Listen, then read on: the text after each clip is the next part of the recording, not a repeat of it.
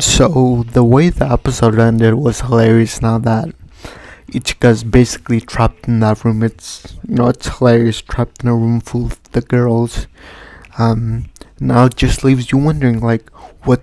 How is he gonna you know get out of there? Because obviously he can't be caught in there, or else you know big trouble. But yeah, just a funny situation overall. But I did want to talk about as to why was there. So, what I understood from him was that, um, Ichika before he says, you know, he basically said like, he basically implied that he didn't, um, he like purposely got out of there, like he doesn't like school trips or anything, and then Yamada kind of had that, you know, um, kind of had that remembered already, I guess. And um, when they were on FaceTime the night before, you know, a big trip, um, she saw, you know, the camp book thing that's uh, next to Ichika. And she kind of misunderstood that, oh, he's actually looking forward to this one. While Ichika, you know, um, he just he just thought that Yamada would want to go or something.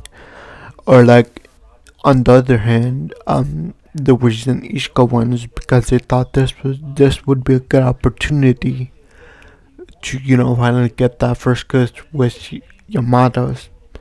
But um we come to find out that um Yamada is, you know, messing up very important um audition for favorite manga as voice actress. I'm I'm guessing or or an actress or something, but it's for her um favorite um manga. I'm guessing live action or something.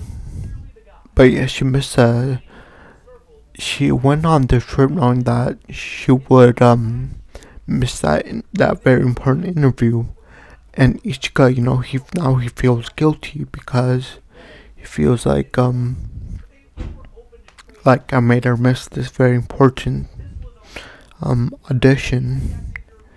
So there's that dilemma. And then now we'll see what Yamada's gonna I mean what Ichika's gonna do. Um that was kind of like like I said in that predicament of um being in the girls being in the girls um room like his only boy, so we'll see what yeah he's gonna do in that predicament. But also on top, like, how, is he actually like is he gonna remember? Like, why am I here? Like, how's he gonna apologize? Is he gonna apologize?